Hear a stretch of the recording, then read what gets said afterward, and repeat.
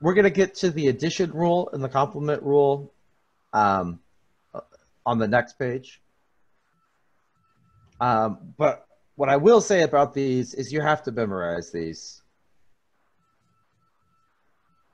Not only memorize them, but understand how, how to use them. Uh, these are, are two very important uh, rules, um, and, and I'll go through what these symbols mean and how it all works and um, in terms of pictures and numbers and stuff like that.